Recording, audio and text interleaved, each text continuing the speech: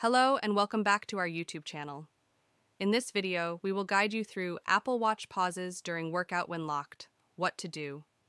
Fix 1. Turn off wrist detection. To turn off wrist detection on your Apple Watch, follow these simple steps. Open the watch app on your Pear tap on the My Watch tab at the bottom of the screen. Select Passcode from the list of options. Toggle off the switch next to wrist detection. Fix 2. Disable running auto pause open the Watch app on your iPhone, tap on Workout, and turn off the auto pause and end workout reminder options. Alternatively, on the Apple Watch, go to Settings, Workout, and disable the auto pause feature. This can prevent the watch from pausing the workout when it detects that you have stopped moving. Fix 3. Ensure proper fit. Loosen the band by pressing the button on the back of the watch to release the band.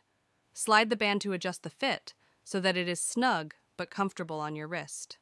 Wear the watch during a short test workout to ensure that it remains in place and does not slide around on your wrist.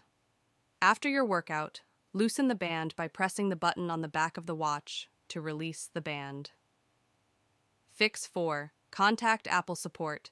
Visit the Apple Support website, scroll down and click on Contact Apple Support. Thanks for watching. Subscribe for more videos.